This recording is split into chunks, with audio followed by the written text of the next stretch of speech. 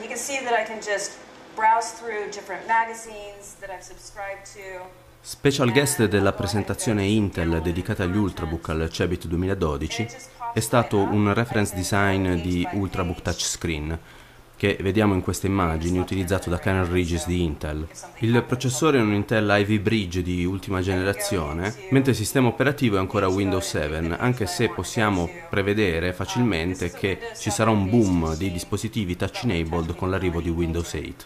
Il design è sottile come ci si aspetterebbe da un Ultrabook con una base bianca e la cornice dello schermo silver, così come è argentata la cerniera rotonda attorno alla quale ruota il display lid al centro del quale spicca il logo Ultrabook cromato. Il design tagliente si appiattisce in corrispondenza dei lati per ospitare le interfacce. Troviamo un jack audio combo, una USB 3.0, lettore di scheda di memoria e SIM card sul lato destro, un'altra USB 3.0 e la predisposizione per la porta RJ45 ripiegabile sul lato sinistro. Qui vediamo una demo di Zinio Reader, un lettore di magazine che ci permette di sfogliare le nostre riviste preferite ed effettuare il pinch to zoom utilizzando le capacità dello schermo multitouch capacitivo a 10 punti di contatto di questo portatile che quindi in generale consentirà un'esperienza utente più dinamica.